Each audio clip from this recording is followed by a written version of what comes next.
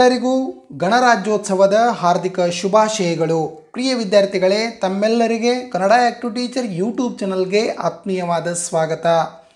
ಇವತ್ತಿನ ಈ ಒಂದು ವಿಡಿಯೋದಲ್ಲಿ ನಾವು ಪುಟ್ಟದಾದ ಗಣರಾಜ್ಯೋತ್ಸವದ ಭಾಷಣವನ್ನು ತಿಳಿದುಕೊಳ್ಳೋಣ. ಒಂದು ಮತ್ತು ಎರಡನೆಯ ತರಗತಿಯ ವಿದ್ಯಾರ್ಥಿಗಳಿಗಾಗಿ ಈ ಭಾಷಣವನ್ನು ಮಾಡಲಾಗಿದೆ. ಅತಿ ಚಿಕ್ಕದಾದ ಭಾಷಣ ತಾವು ನಮ್ಮ ಕನ್ನಡ ಆ್ಯಕ್ಟಿವ್ ಟೀಚರ್ ಯೂಟ್ಯೂಬ್ ಚಾನಲನ್ನು ಸಬ್ಸ್ಕ್ರೈಬ್ ಮಾಡ್ಕೊಂಡಿಲ್ಲ ಅಂದರೆ ಈಗಲೇ ಸಬ್ಸ್ಕ್ರೈಬ್ ಮಾಡ್ಕೊಳ್ಳಿ ಮತ್ತು ಬದಿಯ ಬೆಲ್ಲನ್ನು ಒತ್ತಿ. ಸರಿ, ಹಾಗಾದರೆ ನಾವು ಭಾಷಣವನ್ನು ಶುರು ಮಾಡೋಣ.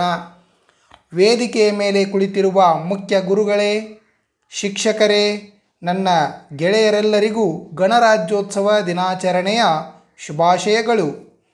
ನಮ್ಮ ಸಂವಿಧಾನವು ಜನವರಿ ಇಪ್ಪತ್ತಾರು ಹತ್ತೊಂಬತ್ತು ನೂರ ಐವತ್ತರಲ್ಲಿ ಜಾರಿಗೆ ಬಂದಿತು. ಆದ್ದರಿಂದ ನಾವು ಗಣರಾಜ್ಯೋತ್ಸವ ಆಚರಣೆ ಮಾಡುತ್ತೇವೆ. ಅಂಬೇಡ್ಕರ್ ಅವರನ್ನು ಸಂವಿಧಾನ ಶಿಲ್ಪಿ ಎನ್ನುತ್ತಾರೆ.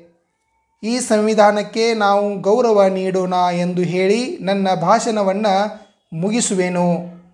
ಧನ್ಯವಾದಗಳು. ಜೈ ಹಿಂದ್, ಜೈ ಭಾರತ್.